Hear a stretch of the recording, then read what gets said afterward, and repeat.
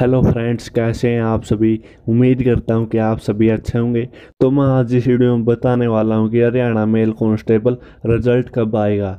जी हाँ रिज़ल्ट इस टाइम आएगा। लाइव प्रूफ के साथ दिखाने वाला हूँ। पूरी जानकारी के लिए आप वीडियो को एंड तक देखते रहें। अगर आप मेरे चैनल पर रहें तो चैनल को सब्सक्राइब और वीडियो को लाइक और ज़्यादा से ज़्यादा शेयर ज़रूर करें। जो भी मैं डेट बताने वाला हूँ, जो भी मैं टाइम बताने वाला हूँ, आप उस पर विश्वास कर सकते हैं।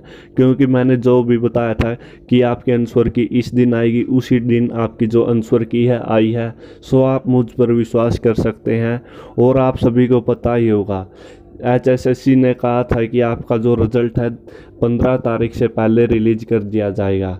तो आप सभी को बता दूँ कि आज तेरह तारीख हो चुकी है और अभी तक जो है रिज़ल्ट नहीं आया है। तो आप सभी को बता दूँ कि आपका जो रिज़ल्ट है, कल यानी कि चौदह तारीख को आने वाला है। जी हाँ ये फाइनल अपडेट है, आपका जो रिज़ल्ट है, कल आने वाला है। और टाइम की और बात करें तो तो आपका रिज़ल्ट जो है, सुबह आठ या नौ बजे तक आपका रिज़ल्ट रिलीज़ कर दिया जाएगा। जी हाँ आपका जो रिज़ल्ट है, आठ से नौ के बीच जारी हो सकता है। अगर कोई भी अपडेट आती है तो मैं आपको सबसे पहले बता दूँगा। सो आप चैनल को सब्सक्राइब ज़रूर करें और वीडियो को लाइक और ज़्यादा से ज़्यादा शेयर ज़रूर करें। धन्यवाद।